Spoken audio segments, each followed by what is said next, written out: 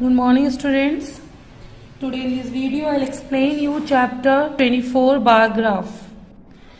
A bar graph is a pictorial representation of numerical dat- data in the form of rectangles of equal width and varying height. Bar graph क्या होता है एक pictorial representation होता है जिसमें हम किसी भी न्यूमेरिकल डेटा को एक रेक्टेंगल्स फॉर्म में रिप्रेजेंट करते हैं। रेक्टेंगल की जो विड होती है, वो इक्वल रहती है और जो हाइट है, वो हमारी वेरी कर सकती है according to data is that clear from a given bar graph we may answer various questions based on it are shown given See this example. given below is a bar graph showing the marks obtained by tarun in five subjects in an annual examination. ek annual examination hai पर तरुण ने कौन कौन से marks को obtain किया है regarding this bar graph graphs given we observe the bar graph carefully and answer the following question according to bar graph first question is in which subject does Tarun get the lowest marks We can see on bar graph lowest is SST.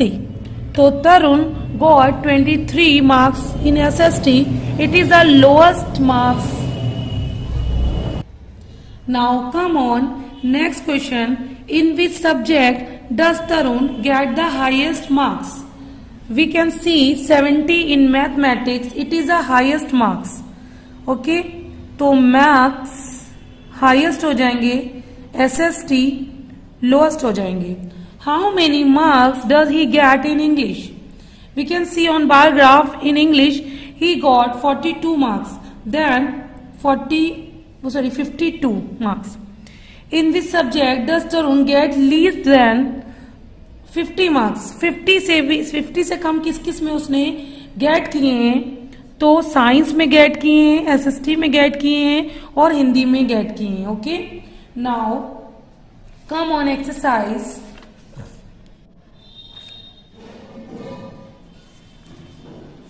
see this exercise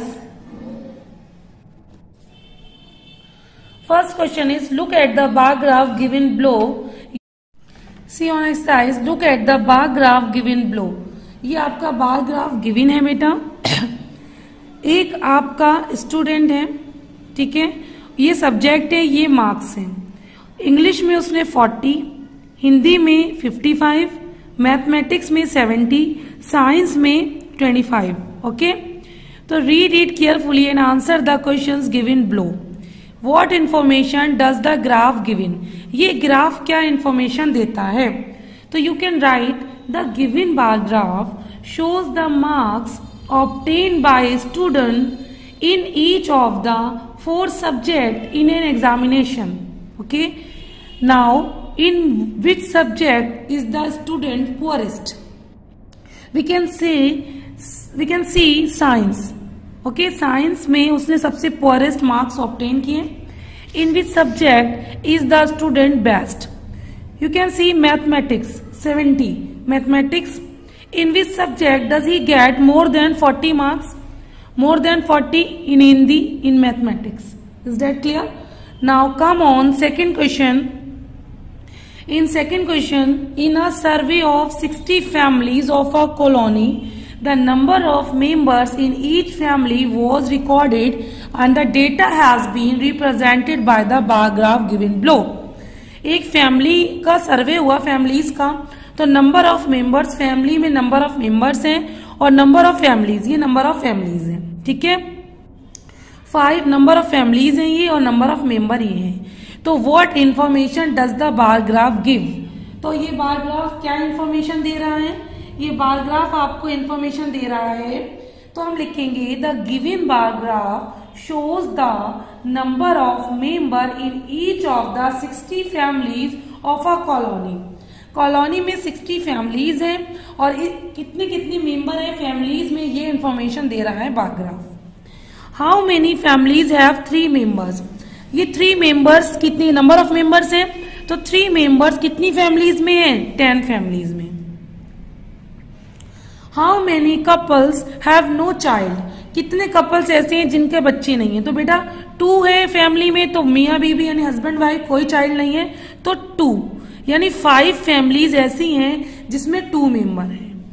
Which type of a family is the most common तो most common family वो है जिसमें four member हैं twenty five ठीक है? Twenty five okay oh sorry four four ऐसी what what type of family is the most common तो four वाला इसका आंसर होगा family of four member is most common जिस फैमिली में फोर मेंबर है, वो मोस्ट कॉमन फैमिली है। Now come on second question look at the bar graph bar graph showing the numbers of cycles produce in a factory during five weeks ये five weeks का data दे रखा है और बोल रहे हैं कि इसमें एवरी कितने एक वीक में कितनी साइकिल्स प्रोड्यूस हुई हैं। तो in each week was the production maximum in which week sorry in which week was the production maximum कौन से वीक में सबसे मैक्सिमम प्रोडक्शन हुआ है? तो you can see second second week now come on next question in which week was the production minimum you can see minimum is four four week में सबसे minimum production हुआ है। What is the average production during these five weeks इसका average production क्या होगा? Five week का। तो हम एवरेज निकालने के लिए क्या करेंगे? सम ऑफ़ प्रोडक्शन और number of production see this first week में सिक्स हंड्रेड सेकेंड में आपका one thousand okay one thousand third week में आपका eight hundred five hundred and seven hundred one two three four five divided by five add कर लेंगे. Add करने के बाद three thousand six hundred divided by thirty five one three four five two ज़ा ten one okay यानी average आपका seven hundred twenty आप get करेंगे। Now come on how many cycles were produce in the first third week यानी first three weeks में कितनी cycle product हुई है? तो हम क्या करेंगे? नंबर ऑफ़ साइकिल्स निकालने के लिए फ़र्स्ट वीक में सिक्स हंड्रेड सेकेंड वीक में वन हंड्रेड वन थाउज़ेंड और थर्ड वीक में 800 इनका सम कर लेंगे, हो जाएगा 24 तो फ़र्स्ट थ्री वीक में 22 2400 साइकिल इसकी क्या हुई है? प्रोडक्ट प्रोड्यूस हुई है। Now come on second and last bar graph 51 students from a locality use different mode of transport to school, as shown by the bar graph given below. आपका 51 students हैं जो अलग अलग मोड से school जा रहे हैं। ओके कार से सिक्स बस से 14 ठीक है, मोब से 10 बाइसिकल 16 रिक्शा 5 तो व्हाट डज द अव bar graph show our bar graph क्या शो कर रहा है? तो the uh bar graph shows the different mode of transport to school used by 51 students of a locality. Is that clear? Now come on, which type of transport is used by the maximum number of students? You can see 15 is maximum तो हम बोल सकते हैं bicycle bicycle सबसे ज़्यादा बच्चे use कर रहे हैं Next, how many students use bus for going to schools? Bus 14 students. How many students of the locality do not use bus for going to school?